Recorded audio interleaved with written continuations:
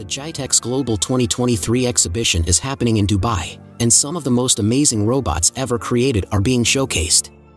And today, they showcased Mirokaï Robots, the cute and charming humanoid robots from Enchanted Tools, a visionary French startup that is changing the face of robotics. Enchanted Tools is a company that believes that robots can be more than just machines.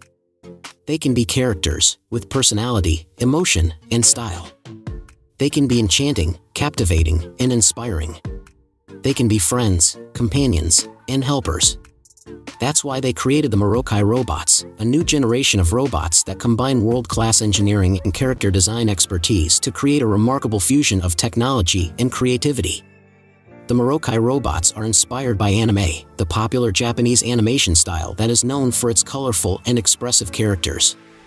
The Mirokaï robots have a distinctive appearance that defies the conventional cold and sterile imagery often associated with humanoid projects. They have big eyes, cute faces, and sleek bodies. They have a narrative universe and a character backstory that resonates deeply with the founder of Enchanted Tools, Jérôme Monceaux the Mirokaï robots are not only adorable, but also very smart and useful.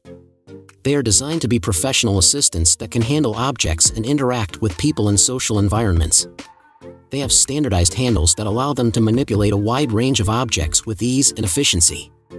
They can push, pull, and transport trolleys, medical equipment, medication, food, and more. They can also communicate with humans using voice, gestures, and facial expressions they can sense their surroundings and navigate autonomously using cameras and sensors. The Mirokaï robots have far-reaching applications in various domains, such as hospitals, schools, nursing homes, airports, trade shows, hotels, and restaurants.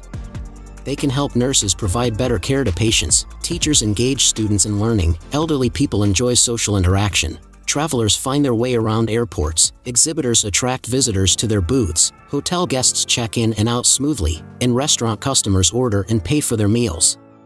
But what really struck me was how friendly and charming they were.